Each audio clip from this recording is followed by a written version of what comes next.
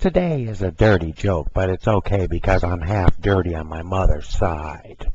A blonde goes to her doctor with skinned up knees.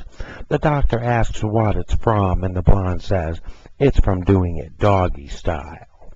The doctor says, don't you know any other positions?